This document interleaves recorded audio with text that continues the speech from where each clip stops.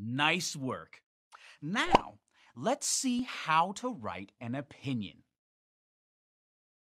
Remember, when you give an opinion, you tell what you like.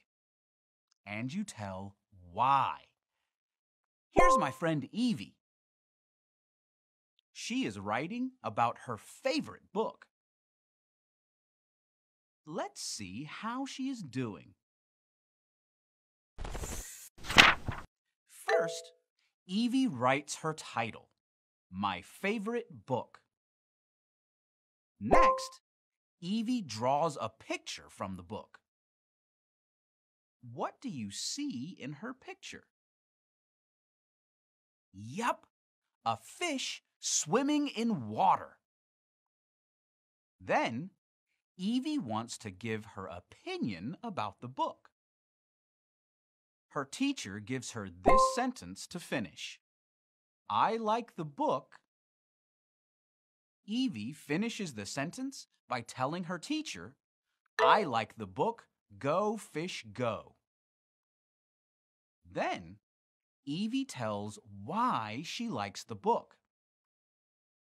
She tells her teacher, the fish swims really fast. Last, Evie ends her writing with the sentence, I wish I could swim like that. Evie just gave her opinion and then told why she likes the book. Now, let's read her writing from beginning to end. My favorite book. I like the book Go Fish Go. The fish swims really fast. I wish I could swim like that. Evie did a great job writing about her opinion, right?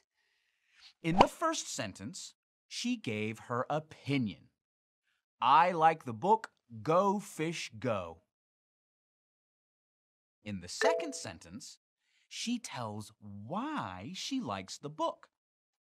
The fish swims really fast. And last, she ends by saying, I wish I could swim like that. That's how Evie wrote about her opinion. Now, it's time for you to try it. Click the button to move on. See you in a bit.